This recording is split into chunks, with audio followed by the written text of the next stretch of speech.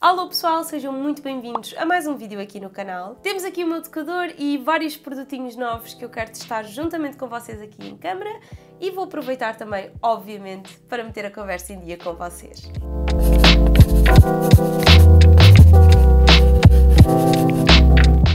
Já sabem como é, pessoal. Se gostam deste tipo de vídeos aqui no canal, deixem desde já o vosso grande gosto, subscrevam no botãozinho vermelho aí em baixo e, é claro, ativem as notificações clicando no sininho e assim não perdem nenhum conteúdo aqui no canal. Vou começar então pelo primer, eu já estou a aplicar, eu estou a utilizar este da L'Oreal que é o Infallible. Eu gosto imenso dele, eu utilizo este cor de rosinha, que é para minimizar os poros, eles existem vários. Depois é vocês escolherem aquele que se adapta melhor às vossas necessidades. Outra coisa que vou aplicar é o Beauty Blur da Vita Librata que tanto pode ser utilizado como um tinted moisturizer, ou seja, só vos vai dar uma corzinha, como também pode ser utilizado como primer, e é isso que eu vou também utilizar. Ele tem assim uma corzinha muito bonita, vai logo dar assim um ar bastante radioso à pele, e eu ainda por cima estou com alto bronzeador neste momento, portanto faz todo o sentido começar por aplicar algo assim que dê um, um, extra glow aqui à pele. Novidades, vou começar por falar do grande elefante na sala, não é verdade? Porque acho que é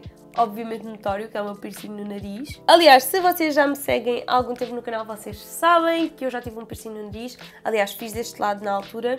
E o que aconteceu é que o meu pai nunca foi muito a favor para ser sincera. Ele deixou-me fazer, mas nunca achou muita piada. Assim, um brilhantezinho até achava. Não achava piada, mas era uma coisa mais subtil. Mas a argola, que era realmente aquilo que eu queria colocar, ele, cada vez que eu colocava, quase que fazia um mimimi sobre aquilo, percebem? E eu, por respeito, acabei por deixar o buraco fechar, exatamente porque o meu objetivo não era ter um brilhantezinho, mas sim ter uma argola e portanto eu deixei fechar e pensei, quando eu mudar de casa logo tenho essa liberdade de fazer isso, não vai ser algo que eu esteja constantemente a ser reprimida, percebem? Porque é sempre chato vocês estarem com os vossos pais e o vosso pai estar altamente a dar-vos aqueles looks de tira isso do nariz, percebem?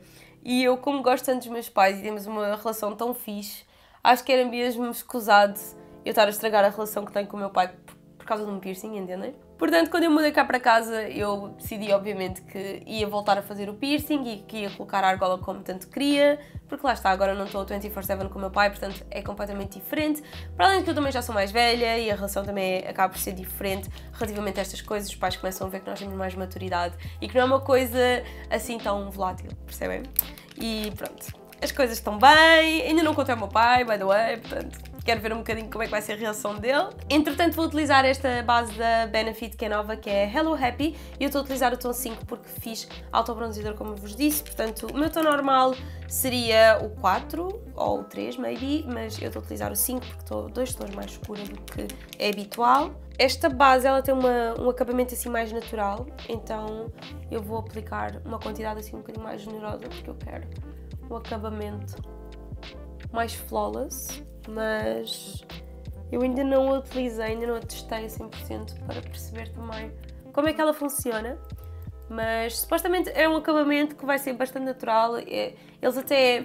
A campanha até é à volta do no filter, portanto é mesmo para deixar a pele mais bonitinha, mas sem ficar com um aspecto muito pesado. Corretor, vou utilizar este da Nabla, que é o Close Up, e ele é muito, mas muito parecido ao Shape Tape da Tarte. Se vocês seguem youtubers americanas, vocês já devem ter ouvido falar desse produto com certeza. Ele é muito parecido até mesmo ao aplicador e eu experimentei-o ontem, não vou mentir, e gostei imenso do acabamento dele.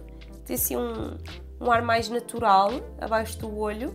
Este fim de semana é já o Rock in Rio e eu vou estar na Digital Stage no sábado, dia 23 e estou mesmo muito, mesmo muito entusiasmada para fazer parte do palco. Acho que vai ser assim um momento único e a oportunidade é incrível, já viram? De estar num palco e poder estar à vossa frente e conhecer-vos. Eu acho que é daqueles momentos únicos e sendo também num evento tão grandioso como o Rock in Rio, acho que é assim, uma coisa um bocado mind-blowing. Estou um bocadinho nervosa, não vou mentir, mas acho que vai correr bem e eu também vou estar com outras pessoas em palco, pessoas que eu também admiro e gosto bastante, portanto acho que vai correr bem. Espero que sim. Com um pincel assim mais fofinho vou aplicar pó, eu vou utilizar este Infallible, também é da mesma gama do primer que eu utilizei da L'Oreal, porque eu também não tenho recebido assim grande coisa de pós, portanto eu vou utilizar aquilo que eu pessoalmente gosto. Dia 24 eu não vou ter a oportunidade de ver Bruno Mars, nem Anira, nem nada dessas coisas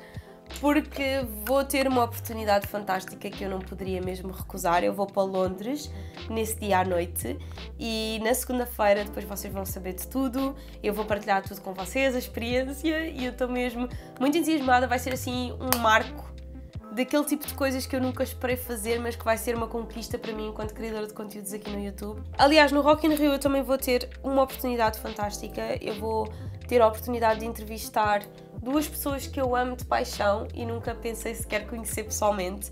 E vou gravar um vídeo com elas aqui para o YouTube, portanto vocês depois vão poder ver. E eu tenho quase certeza que vocês vão amar, tanto como eu. Porque se vocês gostam do mesmo tipo de música que eu, sério, é um sonho poder conhecer. Tenho aqui agora dois produtos que eu estava muito curiosa para experimentar, porque eu normalmente quando faço o meu natural look, eu utilizo o meu contorno e o meu iluminador para fazer isto nos meus olhos, mas estes kitzinhos da Flormar aqui, que eu tenho aqui na minha mão, eles são os Magic Sculpting Duo Shadow, portanto é exatamente para o efeito que eu normalmente gosto de fazer, que é ter uma sombra mais clara e uma sombra mais escura só para contornar ligeiramente a pálpebra. É aquele tipo de artigo que para mim faz todo o sentido na minha bolsa de maquilhagem, até mesmo para levar para viagens e tudo. Eu vou agora para Londres, como vos tinha dito, e depois eu volto na segunda-feira, no mesmo dia praticamente, e na terça-feira vou-me embora outra vez. Mas isso, o destino não vos vou contar, vocês vão ter que esperar para ver, porque vai ser muito divertido, vai incluir outras youtubers, portanto fica a dica.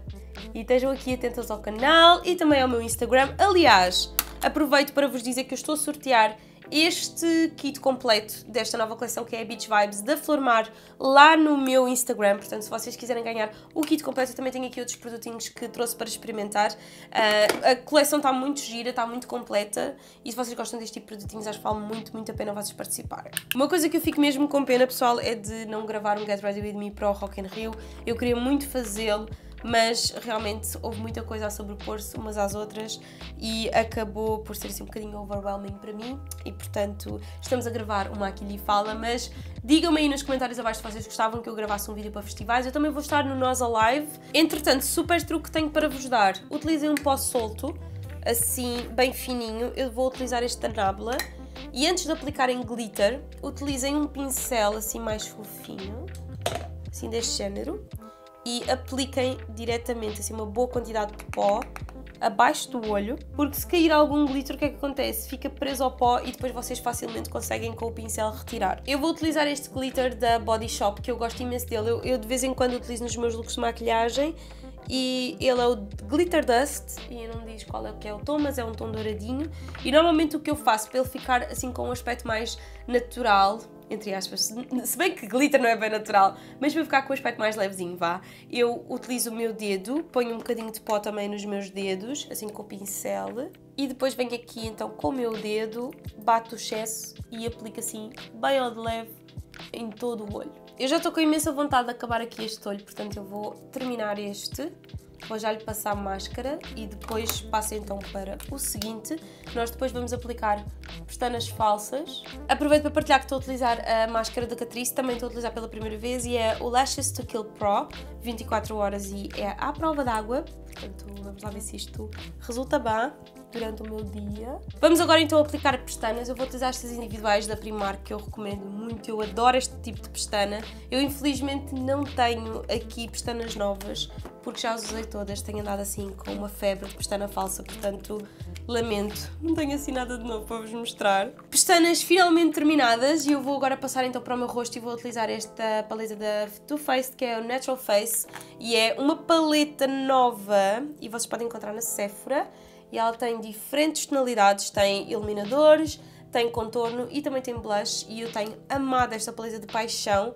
Tanto os iluminadores como os bronzers e os blushes são lindos e eu vou começar por utilizar estes dois tons aqui para contornar o meu rosto. Um truque que eu gosto sempre de fazer é aplicar este tom mais escuro no final, só depois de contornar o rosto todo. Venho aqui e assim muito levemente dou um corte mais afincado na bochecha porque eu, como tenho um rosto mais redondinho, é uma boa forma de criar uma sombra mais vincada. E depois aquilo que vocês podem fazer é vir com um pincel mais larguinho e fazer um buff, ou seja, um, aqui um esfumadito deste mais escuro com o restante bronzer, que é o mais indicado para a minha pele. Sintam que só este pequeno detalhe fez toda a diferença, porque o rosto agora fica todo muito mais equilibrado. Aqui a zona da, da maçã do rosto já acompanha mais o recorte do contorno que eu fiz e eu gosto imenso deste truque. E se vocês têm o rosto redondinho e normalmente têm dificuldade em afinal, experimentem este truque, vale muito, muito a pena. Para blush, eu decidi utilizar este produto novo da Sephora, que eu também nunca utilizei, eu abri-o há bocadinho, ele estava selado e tudo, que é a Trip to Tea e é o tom 2 e ele é praticamente um bronzer misturado com blush que tem sido a minha escolha favorita. Eu normalmente até utilizo assim este da Kiko, que é meio brilhoso nas maçãs do rosto, fica muito bonito porque mistura estes três tons e a maçã do rosto fica logo muito mais composta. Ou então utilizo também este produto da Too Faced que eu também tenho amado, que é este blush em creme, que tem assim um tom lá mais puxadinho para os rosas, mas também acompanha muito bem com estes tons porque é um, um rosinha assim mais queimado.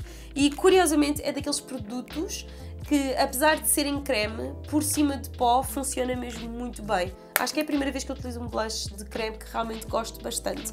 E portanto, para ser diferente, eu vou utilizar este, porque acho que a misturinha também vai ficar muito gira nas maçãs do rosto.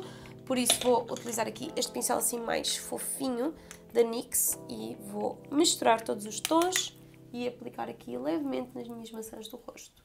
Next step vai ser utilizarmos aqui este spray fixador. Ele é da Body Shop, é novo, e é de rosas, sim, Rose Dewy Glow Face Mist e supostamente é para não só ajudar a que a maquilhagem fique no sítio, mas também dar assim um refresh no rosto. E vocês vão perceber o porquê de eu estar a fazer isto neste momento. Eu tenho feito este truque de primeiro utilizar o spray e depois aplicar o iluminador, porquê? Porque como o rosto ainda está assim meio umedecido, o iluminador vai ficar muito mais potente. E eu vou utilizar estes da Flor Mar, eu vou utilizar um bocadinho primeiro este que é mais clarinho, que é o Radiant White. Ele é bem branco, portanto eu não sei como é que vai funcionar na pele. Estou com um bocadinho de receio, mas vou experimentar primeiro este e depois, se precisar de equilibrar, vou aqui para este que é mais douradinho. Sem dúvida que é demasiado branco para este look, não estou a gostar muito de ver, portanto vou passar aqui para este. Ok, muito melhor. Só nos falta mesmo agora os nossos lábios e eu vou utilizar aqui estes lápis da Essence que também são novos, têm assim uns tonzinhos bem neutros. Como estou a gostar tanto do tom do lápis, acho que nem sequer vou colocar batom, vou só mesmo deixar assim. Eu às vezes faço isto e gosto muito de ver, porque fica mesmo um lábio praticamente mate com o lápis e até às vezes dura mais tempo do que um batom, portanto é fixe. E pronto pessoal, este é o nosso look finalizado. Temos aqui um bocadinho de glitter, mas sem ser too much. Acho que é uma coisa que vocês até conseguem utilizar no dia a dia, se forem assim glam girls como eu. Eu sem dúvida que vou utilizar no meu dia a dia, eu não vou retirar esta maquilhagem. Hell no, está muito fofa, não vou fazer isso. Não se esqueçam, é claro, também passar pelo Instagram, está a decorrer um sorteio da Flor Mar para vocês, onde eu vou oferecer a coleção inteira Beach Vibes, portanto é muito, muito fixe principalmente agora para o verão, vocês tirarem as vossas selfies ao pôr do sol. Acho que vai valer totalmente a pena e realmente estes produtinhos que eu experimentei deles gostei bastante, portanto, hands down, vale muito a pena vocês investirem e participarem. E é claro, sigam-me lá pelo Instagram, porque, como eu vos disse, vai ter muita coisa nova a acontecer, muita coisa gira que eu vou querer partilhar com vocês. E se vocês me seguirem no Insta, é sempre tudo muito mais fácil e sabem tudo assim em primeira mão. E por hoje é tudo, meus amores. Mais uma vez, espero que vocês tenham gostado e tenham um dia super iluminados. E é claro, vemos-nos no próximo.